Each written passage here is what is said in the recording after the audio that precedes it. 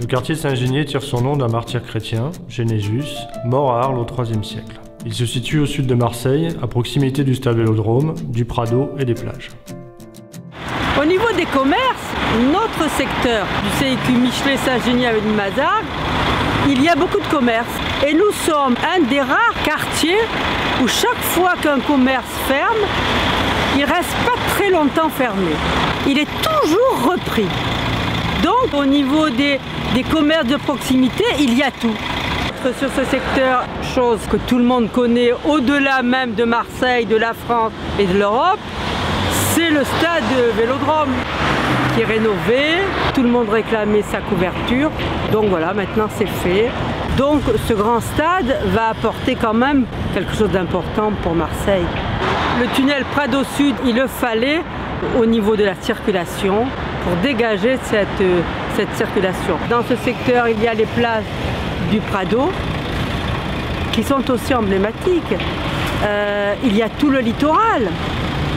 Nous avons plusieurs parcs. Vous avez le parc Borelli, vous avez le parc Chano qui est juste là.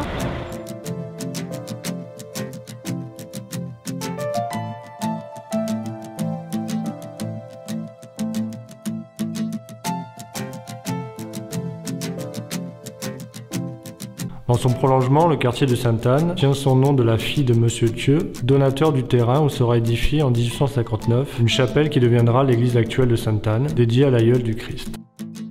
On est réunis là sur la place centrale, qui est la place emblématique de Sainte-Anne.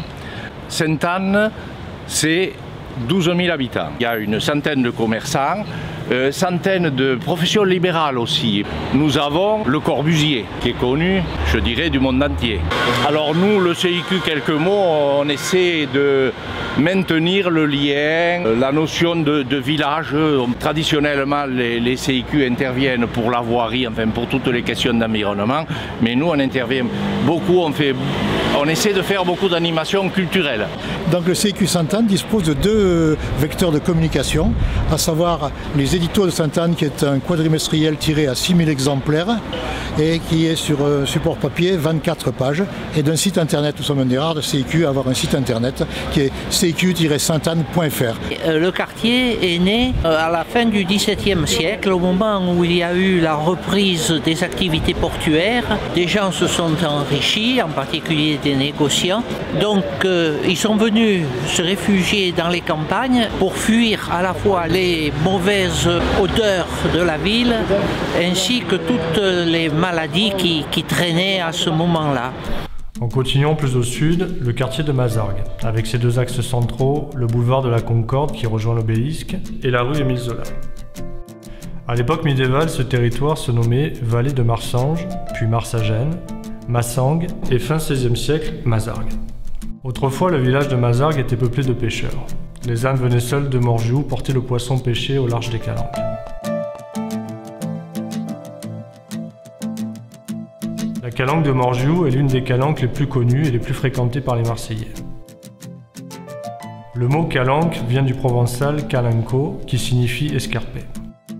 La calanque de Morjou est une des seules calanques habitées, une centaine de cabanons, avec son petit port protégé par une digue.